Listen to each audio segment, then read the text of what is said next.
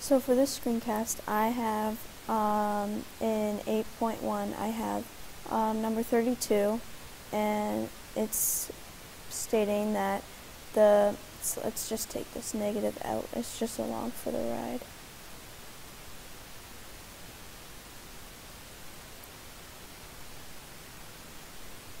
So it's stating that the third root of negative 64. Oh, root.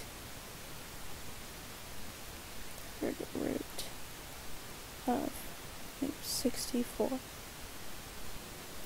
So break it down for you, um, you just take out the negative um, from the problem and make everything easier. Um, so it'll be, you'll take the, th you'll have the third root of negative 64. So if this was, um, if this was the square root of negative 64, you would not be able to do it because it's a even, it's an even root with an even or a negative um, number that's being uh, square rooted. Um, so, so if you don't know, the third root of negative 64 would be negative 4.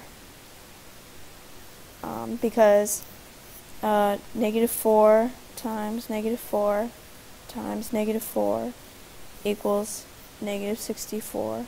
Um, if it was the square root of negative 64, it'd be, um, you wouldn't be able to do it because um, the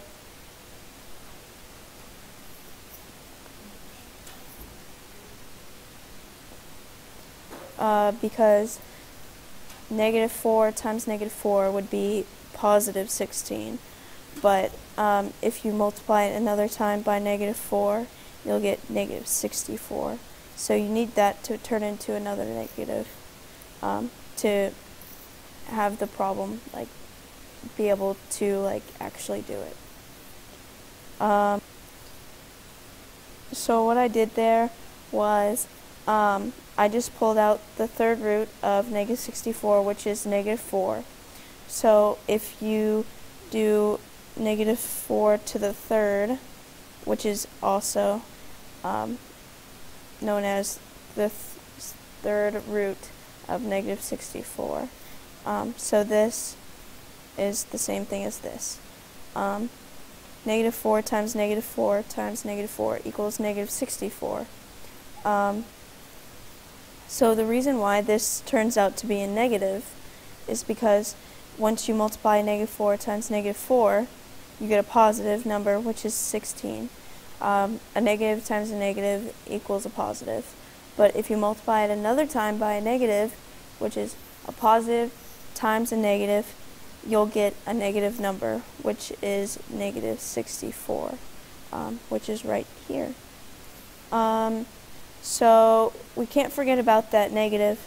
Um, so the so you just put it on with the negative 4 and so this turns out to be just 4 and that is all you do. Um, I made it more complex than you would do it but um, that's like how you break it down